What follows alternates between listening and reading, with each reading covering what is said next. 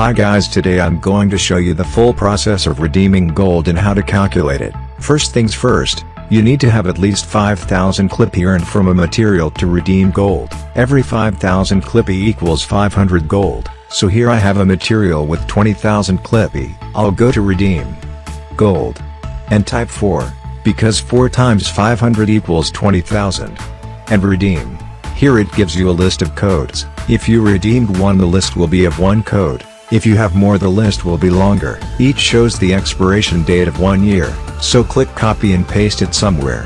Down here it gives you a link to activate the code. By the way, you can give the code to other people to redeem, so click the link and you will be welcome with this screen.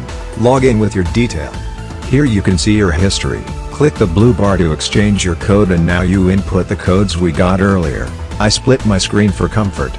Now you just copy the code and paste it.